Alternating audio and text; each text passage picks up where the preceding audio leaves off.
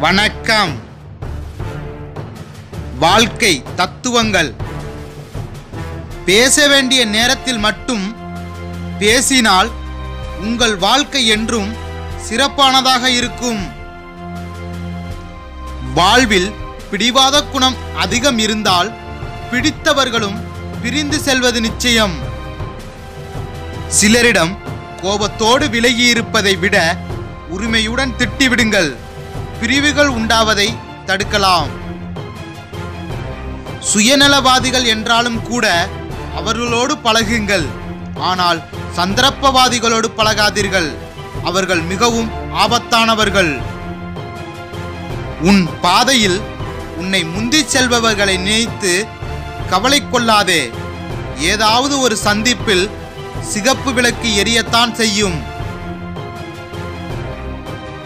ஆயிரம் பேரை கூட எதிர்த்து நில்லுங்கள். ஆனால் தகுதியற்ற சிலரிடம் எதிர்பார்த்து நிற்காதீர்கள். அது வீணாகும்.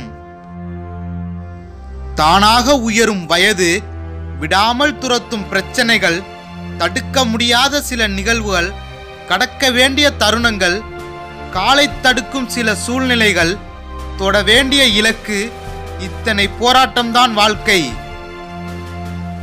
நன்றிகள். இந்த வீடியோ பிடிச்சிருந்தா லைக் பண்ணுங்க ஷேர் பண்ணுங்க கமெண்ட் பண்ணுங்க சப்ஸ்கிரைப் பண்ணுங்க. கூடவே பெல் ஐக்கானை கிளிக் பண்ணி ஆளுங்கிறத செலக்ட் பண்ணுங்க.